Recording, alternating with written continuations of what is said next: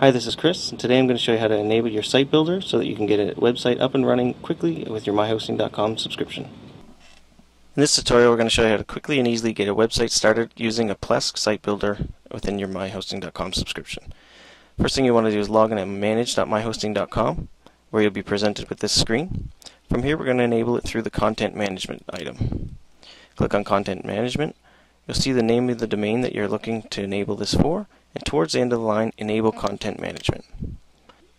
Within here, we want to click on create site using Parallels Plesk Site Builder, and this will begin, begin creating the process on the system. From there, once the system has provisioned this service, we'll be able to access the content management from under the all domains, the domain we enabled it for, and midway down the screen we'll see Edit in Parallels Plesk Site Builder.